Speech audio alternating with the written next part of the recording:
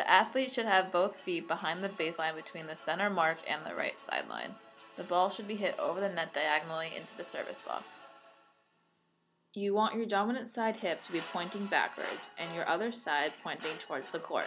This will help your aim. Take a step and throw the ball straight up.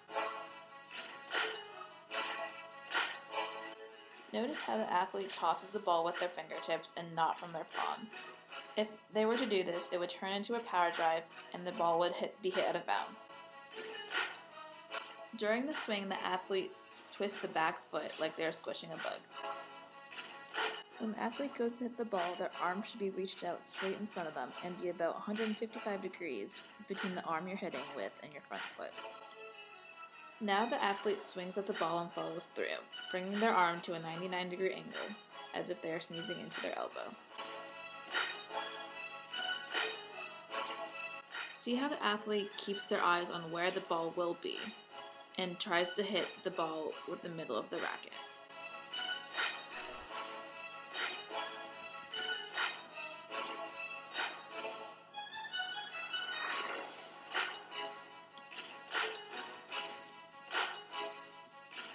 Looking at the cognitive learner's first attempt, it is noted that they should be standing behind the white line on the court and towards the right side. However, they are standing in the middle of the court.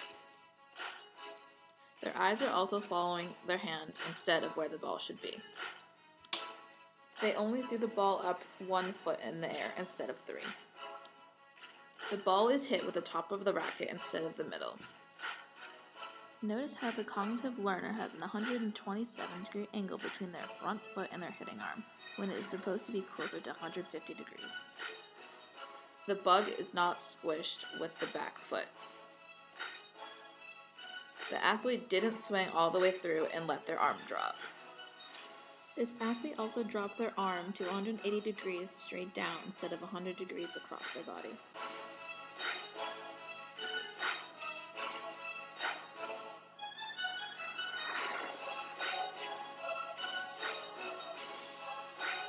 After a week of practice, the athlete is now standing behind the line, throwing with their fingertips.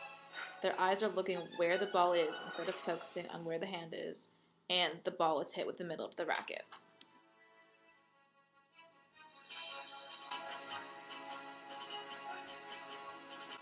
After practice, the athlete has an 144 degree angle between their front foot and their serving arm, when it's supposed to be around 150 degrees.